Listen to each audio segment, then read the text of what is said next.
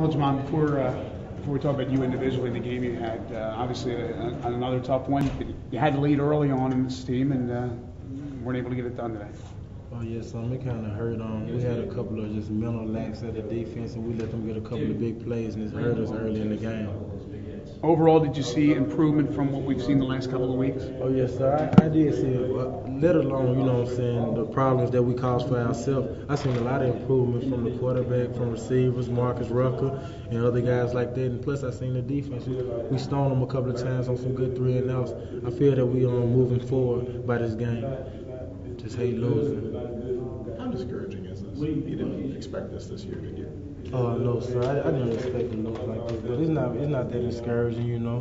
My mama, I got a strong background, so I just got in my heart that you know you never give up, you always fight. Never get discouraged, never feel down. Yeah, sometimes when you have losing streaks, there can be dissension among the players and disharmony, but you, you guys seem to be still together, focused, and, and, and willing to move forward as the season progresses.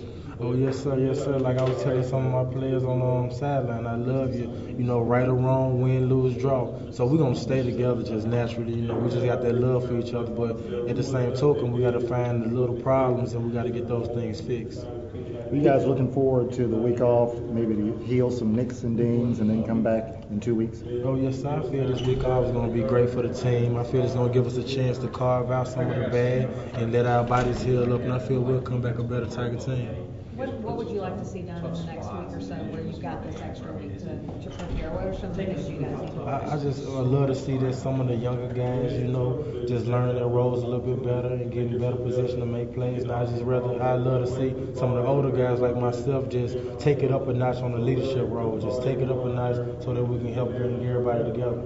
Mon, I know it's tough to talk about individual performances, especially when you lose, but talk about this this day. We know you've been putting it together all year long. 21 tackles. That means you're in on an awful lot of defensive plays. Can you talk about what you did today? Uh, well, 21 tackles. It's just like when she told me I had 21, I didn't even know it. Like I don't even look at stats, you know.